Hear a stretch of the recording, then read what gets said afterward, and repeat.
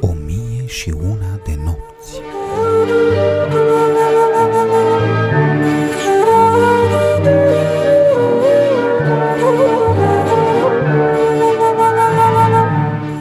În cea de-a 192-a noapte continuă povestea cu Camaral Zaman și cu Budur, cea mai frumoasă lună dintre lune.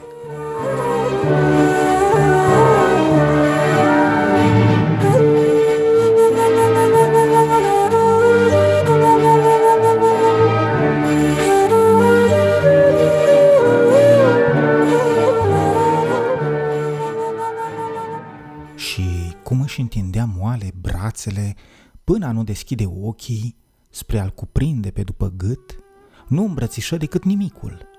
Atunci se trezi de-a binelea și nu-l mai zări pe flăcăul cel frumos pe care îl iubise noaptea, încât inima îi se zvârcoli, iar mințile erau să-și ia zborul și scoase un țipăt mare care le aduse în fugă pe cele zece muieri rânduite să o privegheze și printre ele și doi căsa. Împresurară patul speriate și Doica o întrebă cu glas tremurat. Ce ai pățit-o, stăpâna mea? Budur strigă. Mă întreb de parcă nici habar n-ai avea, o giftuit-o cu șiretlicuri. Spune-mi, iute, ce s-a făcut cu tânărul cel minunat care a dormit azi noapte în brațele mele și pe care îl iubesc din toate puterile mele? Doica, rocoșită până peste fire, întinse gâtul ca să priceapă mai bine și spuse. O, domniță, păzească-te Allah de vreo necuvință. Astea nu sunt vorbe cu care să fi fost de dată tu. Rogu-te să fii mai lămurită și grăbește a ne mărturisi că nu este decât o joacă spre a te veseli. Budur se ridică pe jumătate din pat, mânioasă și țipă. Doică de nenorociri! Îți poruncesc să-mi spui numai decât unde se află flăcăul cel frumos, căruia cu bunăvoie i-am dăruit azi noapte trupul și inima și fecioria mea. La vorbele acestea, Doica văzut lumea toată cum se stinge de dinaintei. Începu să se plesnească amarnic peste față și se prăbuși la pământ dinpreună cu celelalte bătrâne. Și toate începură să se vaite amarnic. Ce dimineață neagră, o ce năpastă, o, asta-i peirea noastră, o ce catran! Dar maica, tot vâicărindu-se, întrebă. Ia set budur pe Allah, vino-ți în minți și contenește cu asemenea spuse nepotrivite cu hanămia ta. Dar Budur țipă la ea. Nu vrei să taci, baba furisită, și să-mi spui ce-ați făcut cu iubitul meu, cel cu ochi negri, cu sprâncene arcuite și sumuțite înspre coadă, cel care și-a petrecut noaptea cu mine până dimineața și care are sub buricuț un lucru pe care eu nu l-am. Când auziră vorbele acestea, Doica și cele zece femei își ridicară mâinile spre cer și strigară. O, ce belea! O stăpâna noastră! Ferit era Allah de sminteală și de capcanele cele diavolești și de de ochi! Chiar că treci marginile glumii în dimineața asta! Iar Doica, izbindu-se în piept, spuse O, stăpâna mea budur, ce vorbe! Allah fie asupra-ți! Dacă atare spuse sunovoase ar ajunge la urechile sultanului, ne-ar și zbura sufletele pe dată și nicio putere nu ar mai putea să ne scape de mânia lui. Dar Set Pudur, cu buzele tremurând, țipă.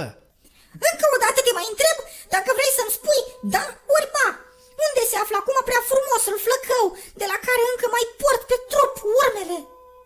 Și Budur dete să-și desfacă oarecum cămașa. La priveliște aceea, toate femeile se aruncară cu fețele la pământ și se văicăriră. Ce păcat de tinerețea ei, că a nebunit! Ori asemenea vorbe o mâniară pe domnița Budur până într-atâta încât smulse dintr-un cui de pe perete un paloș și se repezi asupra femeilor să le spintece. Ele atunci, speriate, se repeziră afară îmbrâncindu-se și urlând și ajunseră clai peste grămadă și cu chipurile bulbucate în iatahul sultanului. Și Doica atunci, cu lacrimile în ochi, îi povesti sultanului tot ce spusese Set Butur și adăugă. Ne-ar fi omorât pe toate, ori ne-ar fi peteșit dacă n-am fi luat-o la fugă. Și sultanul se minună. Lucrul este peste poate. dar ai văzut tu cu ochii tăi dacă chiar a pierdut ceea ce a pierdut? Doica și ascunse chipul pe după degete și spuse plângând. Am văzut! Era plină de sânge! Atunci sultanul spuse. Chiar că este peste poate. Și măcar că la ceasul acela era desculț și nu avea pe cap decât turbanul de noapte, de te fuga în atacul domniței Budur. Și sultanul se uită la fica sa aspru și o întrebă. Budur, este adevărat, precum spun bătrânele astea nebune, că te-ai fi culcat azi noapte cu nu știu cine și că încă mai ai pe tine semnele trecerii lui? Fapt care te-ar fi făcut să pierzi ceea ce ai pierdut. Ea răspunse. Păi de bună seamă, o părintele meu, de vreme ce tu însuți ai vroit așa. Și apoi tânărul acela era ales de săvârșit și atât de frumos, încât ard să știu pentru ce mi l-ai luat pe urmă. Ia că de altmiterii nervul său pe care mi l-a dat după ce l-a luat pe al meu. Atunci sultanul, părintele domniței Budur, care dintr-un tâi o socotise pe fică sa pe jumătate nebună, îi zise Ba acum e nebună de tot. Și o întrebă Budur, vrei să-mi spui într-un sfârșit ce vrea să zic această purtare ciudată și așa de nepotrivită cu cinul tău? Atunci Budur nu mai putu să se înfrâneze și își sfâșie cămașa de jos și până sus și începu să plângă cu suspine, plesnindu-se amarnic peste ochi. Când văzu așa, sultanul le porunci hadâmbilor și bătrânelor să o apuce de mâini ca să o oprească să-și facă vreun rău și dacă va începe iarăși, să o lege în lanțuri și să-i petreacă pe după gât o zgardă de fier și să o lege de zăbrelele de la odaia ei. Pe urmă, sultanul Gaiur, de deznădejde, se întoarse în atacul său, cugetând ce căi să folosească spre a dobândi tămăduirea acelei sminteli de care socotea că a fost zăticnită fică sa. Că, ori și cum, el urma să o iubească pe Budur tot așa de tare ca și în trecut și nu putea să intre în cap că ar fi nebună pe totdeauna. Îi strânse așadar la sarai pe toți învățații din împărăția lui, și hakim, și cititori în stele, și magi, și inși pricepuți la cărțile cele de demult, și făcători de leacuri și le spuse tuturora. Fica mea, Set Budur, se află în cutare și cutare stare. Acela dintre voi care o va tămădui are să dobândească de soție și are să fie urmașul meu la scaunul de domnie după moartea mea. Dar acela care va intra la fica mea și nu va dovedi să o lecuiască, aceluia îi se va tăia capul. Pe urmă, puse să se strige lucrul acesta în toată cetatea și trimise o lăcare în toate țările sale spre a crăinicia și ișderea. Ori, mulți hachimi și învățați și astrologi și magi și făcători de leacuri se învățișară, ci se vedea peste un ceas căpățâna lor, retezată, cum se ivea târnată deasupra porții de la sarai.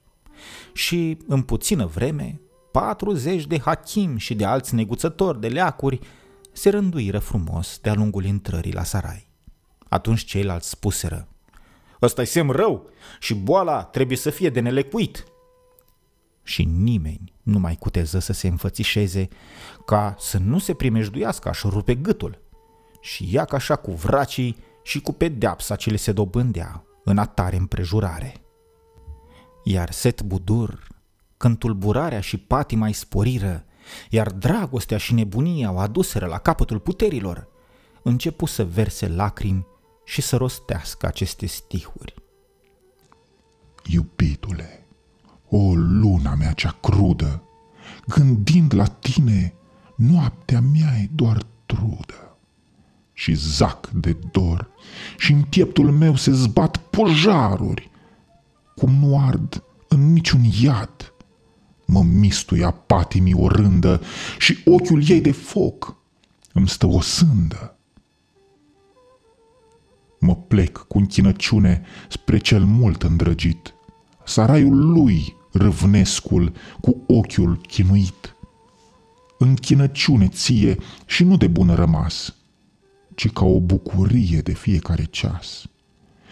Mi-e tare dor de tine, de cerul țării tale, ci iată-mă departe și mă topesc de jale. Și când dispărăvi de spus stihurile acestea, Sit Budur se porni pe plânsete până îi se topiră ochii și se îngălbeniră obrajii și așa își petrecu trei ani.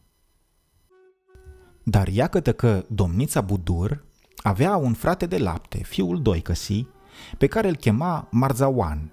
Ori Marzawan, măcar că era musulman repredicios și cucernic, cercetase magia și vrăjitoria, cărțile celor de la Ind și ale egiptenilor, semnele talismanice și cetitul în stele. După care, nemai având nimica de învățat din cărți, pornise a călătorii și străbătuse astfel meleagurile cele mai pierdute și ascultase pe inși cei mai pricepuți la științele cele de taină. Și așa dobândise toate cunoștințele omenești. Și atunci luase drumul îndărât către țara lui, unde ajunsese bine sănătos. Ori, cel din tâi lucru pe care îl văzu Marzawan când intră în cetate, fură cele 40 de capete tăiate ale doctorilor atârnate deasupra porții de la sărai.